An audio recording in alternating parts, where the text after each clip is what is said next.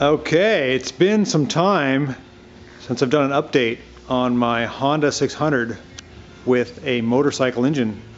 You can see we've got it up here on a rack and I'm happy to say all the brakes are done. That's right.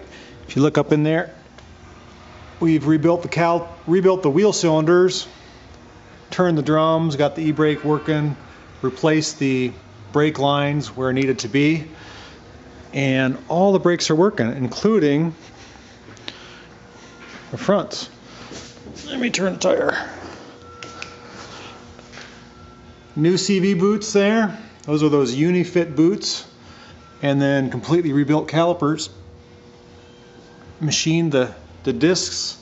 I've got some flash rust on them but best of all is that master cylinder. Can you see that there? I don't know if you can see that.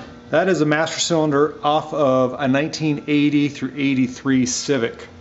Still have it hooked up to the booster on top, but I just got fed up with trying to rebuild the old three quarter inch master cylinder.